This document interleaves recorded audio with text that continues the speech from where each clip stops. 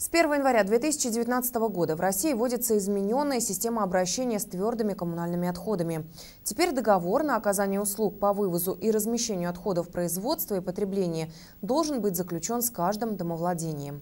Как обстоят дела с этим в Муроме, узнавала Елена Петрова. Известно, что в год на каждого жителя России приходится около 400 килограммов мусора. Твердые коммунальные отходы муромляне относят на контейнерные площадки. В разных микрорайонах города их 234. Начиная с 2015 года стали появляться новые, более удобные в эксплуатации с отсеками для раздельного сбора мусора. Только за этот год таких установлено 27. Всего же раздельный или цивилизованный способ обращения с отходами для муромлян возможен уже на 80 контейнерах контейнерных площадках. Мы отделяем сегодня пластик, больше всего, немножко стекло. И в этом году экспериментально 9 контейнерных площадок построили под сбор бумаги. То мы думаем дальше, как эту проблему решать. И сегодня еще заказано 10 контейнеров под сбор пластика.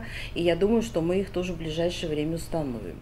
Все для удобства и создания экологически чистой комфортной среды. Как оказалось, договор на оказание услуг по вывозу и размещению отходов производства и потребления по-прежнему есть не у всех домовладений. На сегодняшний момент заключено у нас 5023 договора. Количественным составом 11 101 человек. Это составляет порядка 70%. Предстоит нам в новом году очень большая работа потому что где-то порядка полутора-двух тысяч э, договоров придется заключить. Лучше всего обстоит дело у нас почему-то в районе. Это деревня Нежеловка, деревня Александровка и деревня Орлова. По мнению специалистов, хуже всего по заключению договоров обстоят дела в микрорайонах Казанка, улицы Горького, Калинина, Фруктовая, Штаб, улица Окская и Фанерная, улица Орджоникидзе.